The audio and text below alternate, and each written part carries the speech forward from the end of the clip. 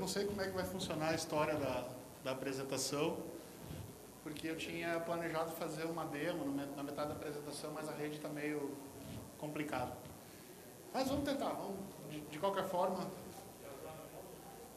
Não, não, vamos, vamos, vamos, ver, vamos ver como é que as coisas se resolvem.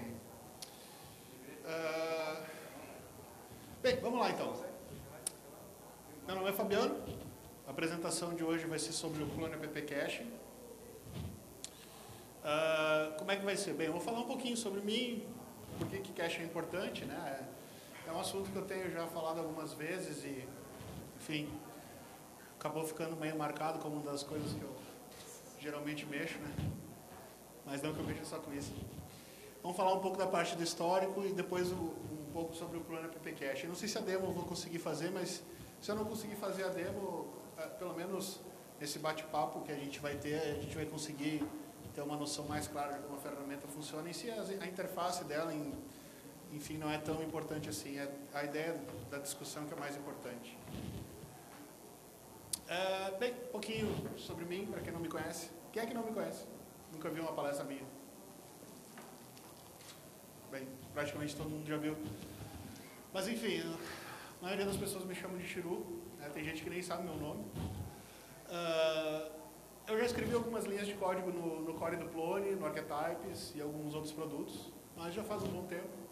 Eu diria assim que ultimamente eu tenho sido pouco produtivo, pelo menos com código do Core do Plone. E atualmente eu, eu divido meu tempo entre três coisas, que é desenvolver uh, um projeto grande que eu estou fazendo para o pessoal da Interledges em Brasília e cursos sobrevivo basicamente de dar cursos, né? cursos na, sobre clone, sobre segurança, sobre infraestrutura. E eu ainda sou assisa de mim de um provedor.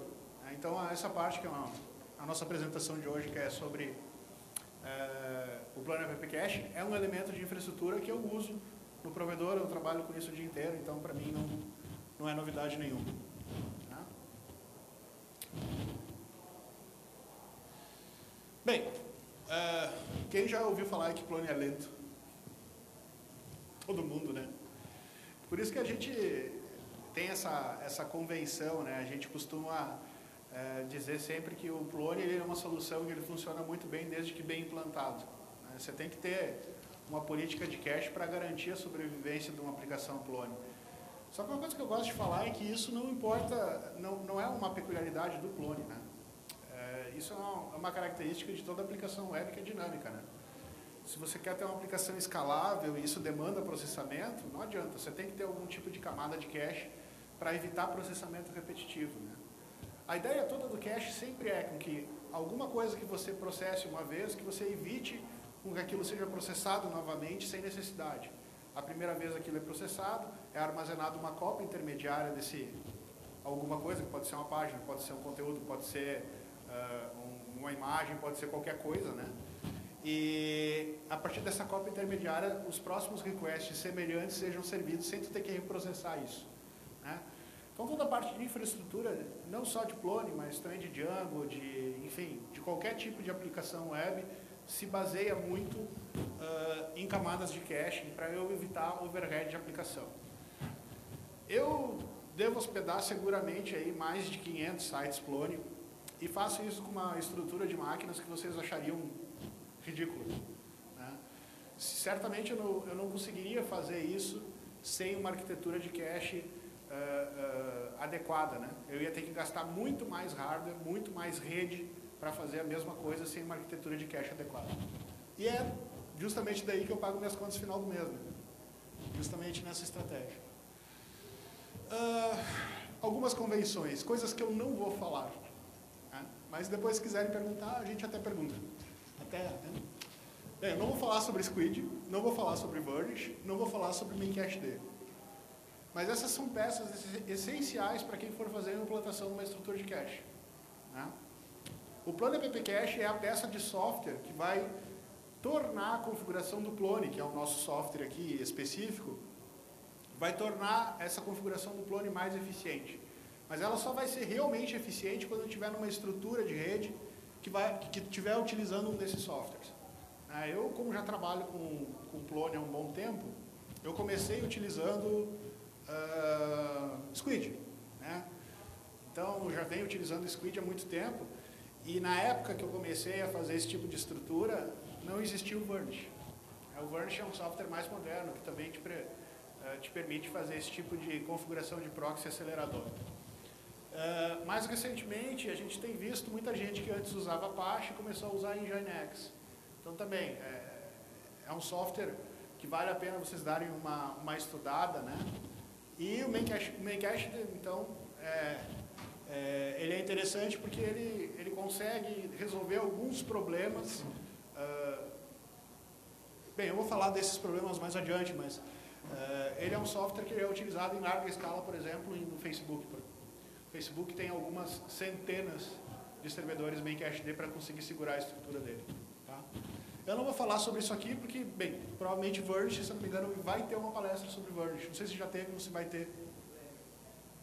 Enfim, então assistam a palestra, a palestra do Kleb sobre, sobre Verge, que ele vai tratar mais a fundo sobre as questões técnicas de configuração disso aí.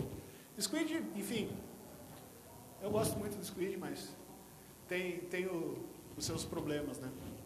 É um software um pouco mais chato de configurar. Bem, vamos falar um pouquinho de histórico. Uma das coisas que o pessoal não sabe, e tem a, a ilusão de achar que, enfim, que o Plone não, não suportava isso bem, é que é o fato do Plone sempre ter tido cache. O Plone sempre teve suporte a cache e HTTP. O problema é que nas primeiras versões de Plone, isso estou falando versões mesozoicas aí, 1.0, 2.0, né? Qual que era a estratégia padrão? A gente tinha um arquivo global cache settings e um HTTP cache. Um global cache settings é só uma macro que expandia junto com o template principal do site, ou seja, todo HTML que tu visualizava uh, acabava expandindo essa macro, essa macro setava algum conjunto de, de cabeçalhos HTTP na tua página. E o HTTP cache, que é uma instância do HTTP cache accelerator, que ele só vai setar cabeçalhos naqueles elementos que não passam pelo skin. Quais são os elementos que, são renderizados no site e não passam pelo skin? CSS, JavaScript e imagens. Né? Então, esses dois elementos, durante muito tempo, eles eram responsáveis por uh, definir a política de cache do clone. E funcionava? Funciona. Qual era o problema? O problema é que, geralmente, todos os elementos binários... Deixa eu ver se eu já botei isso.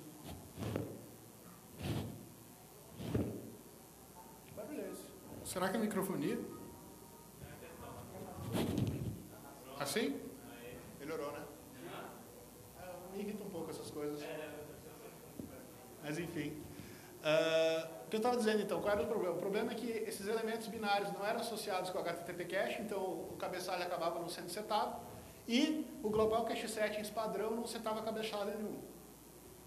Qual que é a solução? A solução é essa aqui. Então, se você pegar qualquer clone de qualquer versão e botar isso aqui, ele tem cache automático. Tá? Isso vale sem cache full, sem nada. Tá? Uh, isso desde o 1.0 até o 4.1 isso funciona, porque isso aqui vai mudar justamente a forma como é que os cabeçalhos HTTP vão ser gerados quando o template padrão é renderizado. Tá? O que eu estou fazendo aí nada mais é do que dividir dois blocos. Né? O que eu faço é um if e um else. O que está em azul, ele é testado com not is anonymous user, ou seja, esse aí é o cabeçalho que é setado para o usuário autenticado. E eu, nesse caso, estou dizendo explicitamente, o usuário autenticado não deve ter cache no template. Então, estou gerando um set header dizendo que aquele, aquela página é uma página privada que não pode ter cache, nem no navegador, nem, nem em nenhum proxy. E o vermelho é o contrário. O vermelho é um cache de uma hora. Tanto no, no caso aí é um, é um cache de uma hora apenas nos proxies. Tá? Essa é uma receita de bolo que eu costumo adotar faz muito tempo. Por quê? Porque tem muito site que cache full ou plano app cache simplesmente não funciona direito. Ou porque é difícil de instalar, ou porque tem alguma dependência uh, quebrada, ou às vezes a gente não tem acesso ao sistema de arquivos do servidor, não consegue dar build out. Ou seja, tem muitos motivos que às vezes impedem a gente de fazer uh, uma solução decente. Né? Esse aqui é uma solução que resolve 90% dos problemas. O que, que não é resolvido aqui? Não é resolvido aqui o problema das imagens, o problema dos arquivos, CSS, JavaScript. Que eles têm que ter cache, mas eles não passam pelo skin. Né? Então, esse problema geralmente a gente resolve, tem uma linha de cache onde a gente associa um elemento com um determinado HTTP cache e ele vai passar a ter aquele cabeçalho. Ok, vocês acabaram de aprender tudo que, tem, que, tudo que existe em relação a cache HTTP do Zope. Qual é o problema disso? O problema disso é que isso é uma confusão do diabo. Manter um site grande com isso é muita mão de obra e é complicado. O ele nasceu aonde? O Cashflow estou falando só por uma questão histórica, né? porque ele é o, o parente, é, né? o, digamos assim, o pai do problema app cache. O Cashflow nasceu justamente como uma forma de poder configurar isso.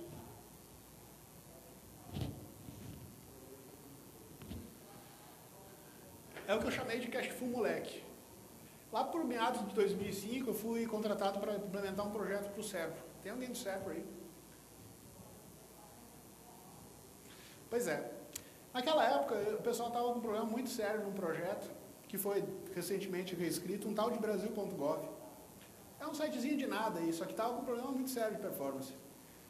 E o pessoal acabou percebendo que a raiz de tudo é que não se tinha uma política de cache adequada. Só que naquela época, mesmo uma solução simples dessa não funcionava. A gente teve que corrigir um monte de bug no Zope, no, no core do Zope, para poder isso funcionar. Então não foi muito bom. Foi uma experiência complicada, mas que ah, depois de um tempo isso acabou se revertendo para a comunidade, virando um produto que todo mundo acabou usando. Então, eu diria que aí seis, sete anos depois a gente já tem uma solução ah, robusta e bem testada nessa parte, que não é uma parte simples. É, essa, esse tratamento de cabeçalho HTTP é, um, é uma área que geralmente é negligenciada pelos desenvolvedores, ou pela falta de conhecimento, porque ela é uma área muito complicada, ou justamente porque ela é uma área que não é considerada essencial. Né? Se você pegar a maioria dos servidores web, eles não têm módulos muito simples para você configurar cache. Tá? Quem daqui já ouviu falar do mod expires do Apache? Só o Kleber e o, e o Douglas. O mod expires do Apache é um módulo que faz, sei lá, 15 anos que faz isso. Só que ninguém conhece. Muito bem. Surgiu o Cashfu, então. O Cashfu é o, é o pai do é o pai do, do Plone Cache, que é o que a gente vai ver. E ele surgiu como uma espécie de interface para a gente configurar essa bagunça aí. Configurar políticas de cabeçalho personalizáveis. Ele tinha dois conceitos, o conceito de conjunto de cabeçalhos e o conjunto de regras de cache. Através dessas regras de cache, você definia qual era o conjunto de cabeçalhos que era aplicado no request que estava sendo processado. E só isso. Né? Conjuntos de cabeçalho e regras de cache. E aí essas regras eram configuráveis. Geralmente o que a gente fazia era botar um cache uh, público, né? um cache compartilhado, isso é um termo que vocês têm que entender direitinho quando forem trabalhar com, com a parte de cache. O que é um cache compartilhado? Cache compartilhado é aquele cache que existe, mas não necessariamente apenas no teu browser. Ele pode existir num elemento de rede, como um squid ou um burnish. Tá? Uh, então o que a gente fazia era habilitar o cache compartilhado para os elementos que eram acessados pelo usuário anônimos e para aquele que era o, o, o, acesso autenticado, a gente evitava o cache. Simplesmente não fazia cache nenhum. E isso, nas primeiras versões de Cashflow, foi a política padrão.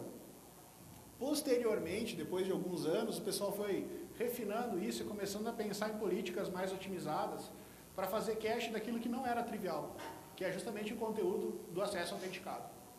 E isso sim é um pouco mais complicado. Mas, via de regra, o Cashflow sempre foi isso, foi só uma interface de configuração para algo que é uma especificação RFC, uma, um, um conjunto de práticas de cabeçalhos que vão determinar como é que o cache vai ser efetivado dentro da tua página. Se tiver uma instalação de Squid e a aplicação para a qual tu está fazendo o proxy não seta cabeçalho nenhum, o Squid não vai fazer nada. O Varnish é um capítulo à parte, porque o Varnish você tem como deturpar essa regra e mandar com que o Varnish faça cache de coisas que geralmente você não faria. Mas com o Squid, via de regra, ele tenta ser aderente às RFCs né, e seguir o que os cabeçalhos estão determinando. Muito bem.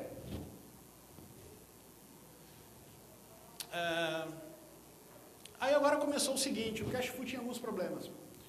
Primeiro problema, alguém de vocês já tentou editar uma regra do Cashflow num site que está rodando e que tem, que tem bastante acesso? Tu conseguiu? Não é fácil, né? Por quê? Porque o full armazena todas as configurações dele no ZDB como objetos. Ou seja, ele utilizava toda, toda a metodologia de construção de configurações como uma utility, que na verdade é um objeto do CMF, que é uma tool na raiz, e isso gerava uma transação no ZDB. Só que no momento que tu fez essa transação, tinha mais 100 transações concorrentes rodando. Resultado, teu ZDB entrava em conflito e dificilmente tu ia conseguir fazer aquele negócio. Era um saco você dar manutenção no ZDB com um grande volume de acesso pela arquitetura que o Cachefu tinha. Tá? É, mas a ideia era muito boa. A ideia era muito boa. Só a forma como é que foi implementado que ela é meio, meio questionável. Né? Para um site com moderado volume de acesso, isso não importa. Mas para um site com muito acesso faz bastante diferença. Resultado, como a gente percebeu que isso estava errado conceitualmente, por natureza isso estava errado, o Cachefu parou de ter release a partir do plano 3. E foi lançado o plano app Cache, que é o produto indicado para fazer esse tipo de coisa a partir do plano 4. Hoje a gente está no 4.1, né? E no 4.1, bem, isso aqui eu já falei, né? Então, ele utiliza o, o Zop Component Architecture na, na, forma como é que ele está estruturado, né? Uh, depois eu volto isso aqui. E ele já está empacotado no plano 4.1. Né? Ele já faz parte do, do, do plano 4.1 padrão. Tá? Uma das grandes vantagens do plano app Cache é o portal setup. Quem sabe usar o portal setup? O portal setup é uma das melhores coisas que tem no plano 4, na minha opinião.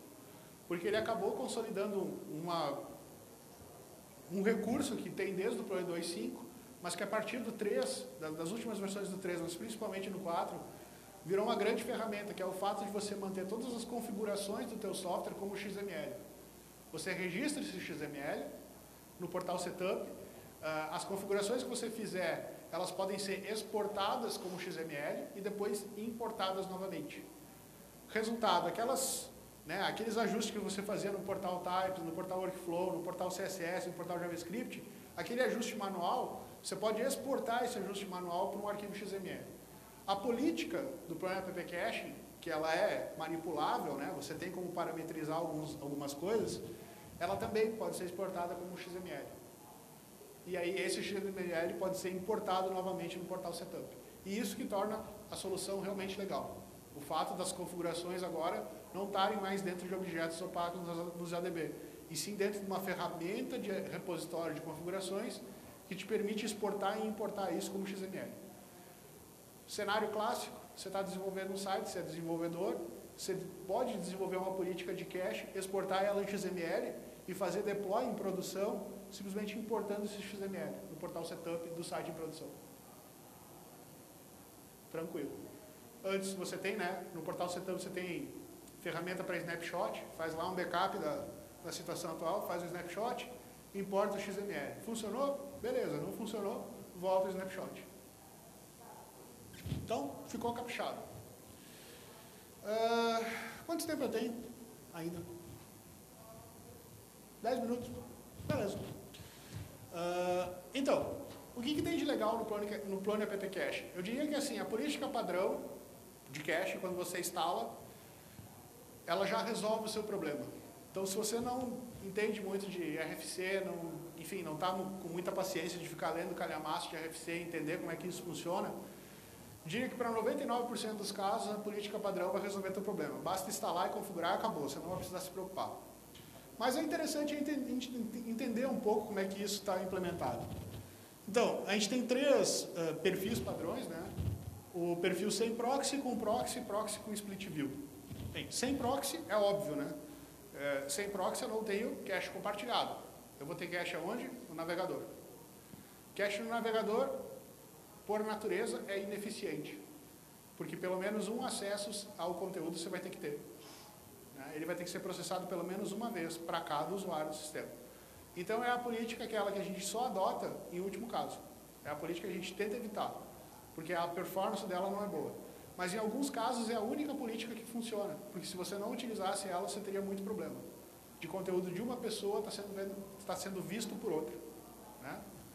Então, quando o conteúdo ele é personalizado, ou seja, aquele conteúdo que você está enxergando, ele depende de algo que está no usuário, depende na pessoa que está acessando, você não pode ter cache compartilhado, você tem que ter cache no navegador.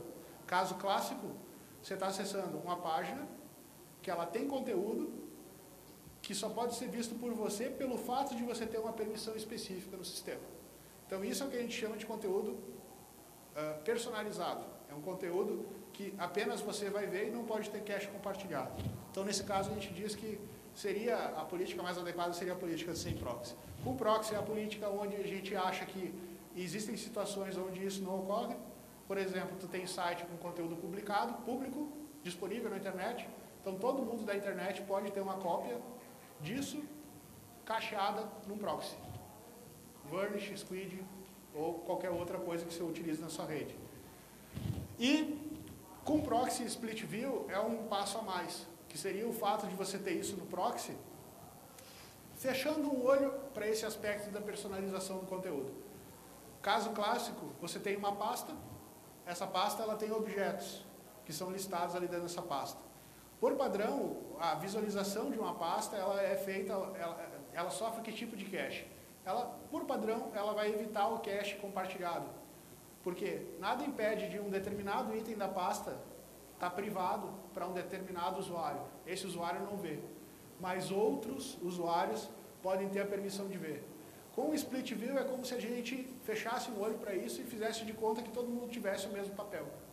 O máximo vai acontecer é ele olhar, saber que aquele, aquele link existe, que aquele conteúdo existe, ele vai clicar no link e vai ter o acesso negado pelo fato de não estar autenticado para poder ver aquilo. O plano por padrão ele tem uma política interessante que simplifica bastante as coisas. Tudo é baseado num catálogo de objetos. Como o catálogo de objetos só devolve nas consultas aqueles objetos que você teria permissão de enxergar, por padrão, quando você usa o clone, você tem a impressão de que os objetos que você não tem permissão de ver é como se eles não existissem. Só que quando a gente está rodando uma solução que tem um cache compartilhado, a gente pode acabar esbarrando em objetos que teoricamente a gente não veria. Porque alguém com uma permissão elevada pode ter acessado antes e esse acesso pode ter ficado cacheado. Isso não vai impedir que é, esse acesso, se ele está protegido por né, por um controle de permissão adequado, que quando você tente acessar, você acabe tomando um Natal, exemplo. Né? Mas, em algumas situações, você pode, pode ter esse, esse split view. Split view é um termo genérico que inventaram para tentar explicar esse fenômeno aí. Né? O fenômeno do, do fechar o olho para personalização em alguns casos. Que, enfim, em alguns casos não tem, não tem como não fazer. Outro caso clássico, página inicial de todo o plano site, por padrão, é um split view. Por quê? Porque na página inicial do site, geralmente a gente publica notícias, né? A gente pode ter ali conteúdo em revisão, a gente pode ter, enfim. Outro caso, o cara foi lá, fez um site e botou uma portlet de enquete. Esse é o caso mais clássico, né? Aí como é que eu sei se o HTML que eu tenho que servir para a pessoa que está acessando é o HTML com a enquete para votar ou com o resultado? Eu não sei se o cara votou, Saber se o cara votou ou não, vai, vai ser definido por um cookie que vai ser gravado na máquina, né? Então, para eu diferenciar um acesso do outro, eu teria que guardar uma cópia de cada. E aí eu já não tenho mais split view. Na verdade, eu estou uh, adicionando o cookie como uma chave do, do vary para eu ter duas, duas visões da mesma página. Então, uh, tem todas essas variações, essas três variações principais. Sem proxy, com proxy com split view. Bem, aí a gente tem conjuntos de regras. Tá? Esses conjuntos de regras, é, eles são organizados de tal forma a serem reutilizáveis. Tá?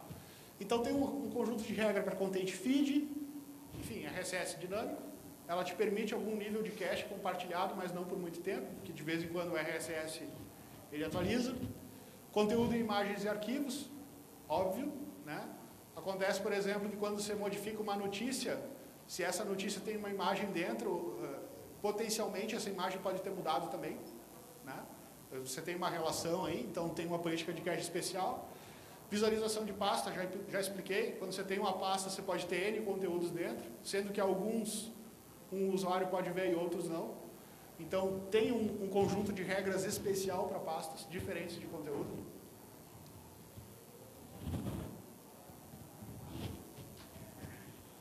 Uh,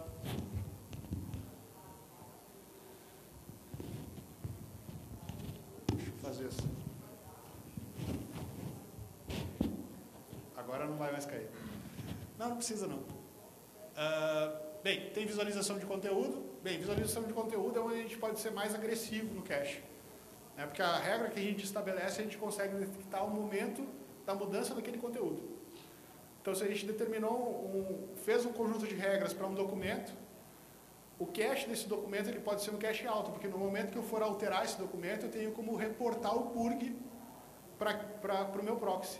Eu tenho como fazer com que o Zope mande uma mensagem para o proxy dizendo, ó, aquele conteúdo que eu mandei cachear um dia, duas horas depois alguém foi lá e modificou, você tem como mandar uma mensagem explícita de purg para os proxies para que ele elimine esse conteúdo.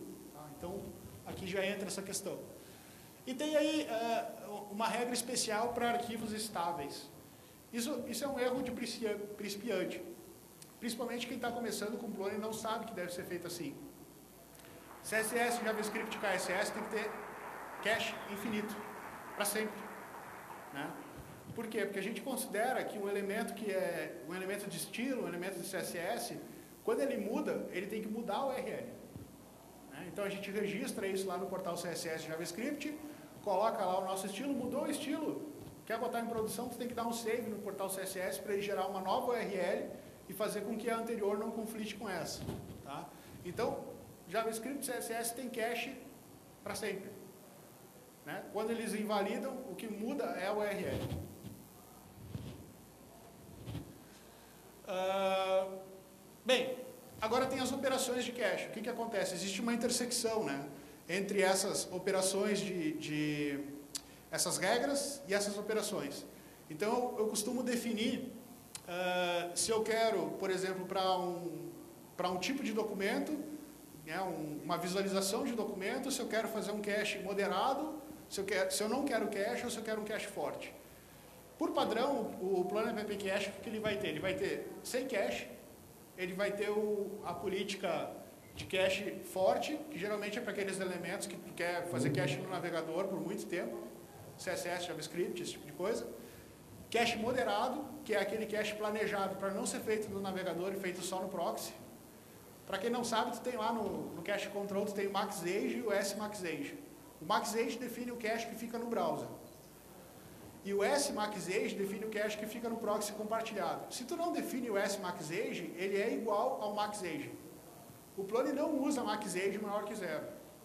Né? A gente tenta sempre fazer o max age ser zero e setar o S max age, porque o S max age, se ele for lá de um dia, por exemplo, eu sei que no navegador da pessoa não vai ter nada. No proxy pode ter informação por um dia, mas de lá eu consigo tirar com um purg. Eu mando um purg explícito do, do meu servidor para tirar esse elemento de lá. Só tem um problema nisso a gente não deve esquecer que, às vezes, a gente está numa estrutura de rede, ou está utilizando alguma infraestrutura de rede, que tem proxies que a gente não conhece. Se você, por exemplo, é cliente do UOL de acesso discado, você vai estar embaixo do proxy. Se você é cliente do Terra também. E não é o proxy squid que está dentro da tua rede. Nesse proxy, tu não vai conseguir fazer curto. Então tem que tomar cuidado quando a gente utiliza esse tipo de estratégia e acaba delegando muita responsabilidade para o purg, porque tem proxy na internet que a gente não gerencia e a gente não vai conseguir purgar conteúdo.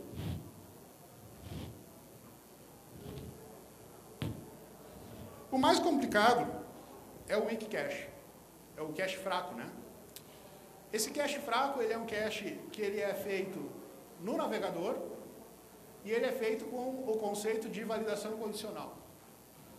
Meu Deus do céu, o que é validação condicional? Bem, tem que quebrar um pouco a cabeça para entender. Mas, via de regra, a validação condicional mais simples ela é baseada em data. Geralmente, quando o servidor manda um, um elemento para o navegador, manda para o browser, o browser vai poder armazenar uma cópia desse elemento, ele vai guardar qual é a data da última modificação desse elemento. A próxima vez que o navegador for, for pedir esse elemento para o servidor, ele vai dizer, olha, eu já tenho uma cópia desse cara aqui comigo. E a data da última alteração desse conteúdo que eu tenho eu vou tentar acelerar. Ele me disse que acabou o tempo. Mas enfim, a data da última versão do conteúdo que eu tenho é essa aqui. Ele manda isso para o servidor, o servidor vai comparar com a data da última atualização do conteúdo. Se o conteúdo sofreu alguma modificação, ele vai mandar o conteúdo, senão ele vai mandar o que a gente chama de código 304, que é Not Modified. O Not Modified, ele tem duas vantagens. A primeira, ele economiza a rede, porque na resposta ele só vai devolver um 304 e só o cabeçalho. Ele não vai devolver a área de página que tem o elemento. Então, se você estava pedindo uma imagem de 10 KB, ele só vai devolver alguns bytes de cabeçalho e a imagem ele não manda. Então, aí você está economizando rede. Às vezes, gargalo de aplicação nem é, é velocidade de processamento, às vezes é rede. Né? Então, nesse aspecto, fazer cache em browser é interessante, porque você pode ter a possibilidade de economizar rede. E a segunda vantagem é que o, o 304 ele pode ser estendido, digamos assim, usando entity tags. Porque em algumas situações, uma validação por data não é suficiente para saber se aquele elemento deve ou não ser considerado como modificado. Então o clone ele tem a opção de você gravar um, um e-tag, né, um entity tag, no, na cópia que o navegador armazena, e esse cálculo de, de entity tag, que é como se fosse um carimbo, né, um, um, uma sequência string que identifica esse, essa página, ela tem como ser calculada do lado do servidor de forma muito mais rápida do que calcular a página propriamente dita. Então, essa é uma estratégia que vai te dar uma certa flexibilidade na fazer, na, em fazer a invalidação do cache. Bem, meu tempo acabou, mas essa aqui é uma tabela interessante vocês estudem. Ela está na documentação do plano app caching e ela diz né, qual que, qual que é, para uma determinada política, qual que é o tipo de cache que vai ser aplicado. Por exemplo, uh, sem proxy, sem proxy, todas, uh, todos os meus tipos de conteúdo, eles têm o wiki cache, cache fraco, com exceção de stable resources, que é CSS, JavaScript, que é aquilo que pode ter cache infinito e pode ficar cacheado no navegador para sempre. Isso é completamente diferente quando eu tenho proxy. Né? Quando eu tenho proxy, os conteúdos eles podem ter um cache moderado e compartilhado porque eu posso fazer um purg nesses proxies. Tá? Então, essa aqui é, é, é, é, a configuração padrão. Tá? Se vocês não quiserem ter problemas de, de stateless, né? que eu tenho uma cópia cacheada de algo que já foi modificado, a, a política de sem proxy seria a indicada. O problema é que ela é muito ineficiente. E se você realmente tem um problema de performance, a mais indicada seria fazer cache moderado para todo mundo. O ideal é que você consiga entender essa relação e fazer um, um balanço, né? Entre o tipo de conteúdo que você quer e o cache que você gostaria de fazer e o risco que você está assumindo em servir um conteúdo velho, sabendo que ele já pode ter sido atualizado. Tá? É sempre um, né, um, um equacionamento aí que você tem que buscar. Uh, bem, eu ia falar do Page Cache Manager, mas tudo bem. Ficamos por aqui. Tá bom? Muito obrigado. Vou abrir para perguntas, então.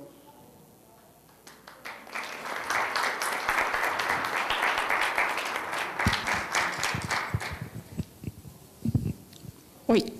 Eu trabalho numa empresa que é, tem área de suporte diferente da área de desenvolvimento. Né? Alguns contratos no governo funcionam onde a empresa trabalha com todo esse é, plano de cabo a rabo, né, em todos os aspectos, e, e eu trabalho mais com desenvolvimento. Mas, assim, para quem tem pouco conhecimento com esse plano PPCast, basta instalar, tem alguma configuração mínima? O que, que é? Ou um tutorial, assim, é, básico, médio, avançado? Algum lugar, assim, para a gente se aprofundar? Ou... Eu acho que o meu é o primeiro. É. E está onde? Dá uma lida, a página do PyPy, né? É, que tem o plano PPCast, onde o egg é distribuído, tem uma boa, uma boa documentação dá uma lida lá, eu acho que vai ser o suficiente para você esclarecer. Não é muito difícil de usar, não, é tranquilo.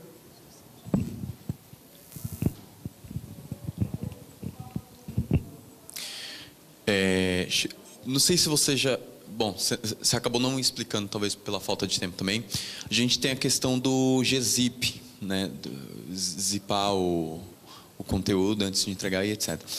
É, e o app caching ele tem um, um, um problema quando você tem uh, quando você está trabalhando com deliverance, deliverance não é de ASO, né? Se você habilita, não sei se chegou, já chegou a passar por isso, se você habilita gzip no app caching, o Diazo te entrega a página em, em alguns casos ele entrega tudo sem, sem, sem layout, né? no caso, ele dá algum conflito de, de, de, com CSS, etc. E depois ele entrega de volta as coisas. Então, se você já chegou a passar por esse problema e não, você sabe algum... Não passei por esse problema, mas tem duas dicas. Primeiro, usar o Varnish 3, que ele é mais esperto com esse, essa história de compressão. E a segunda, não fazer o clone fazer compressão de nada.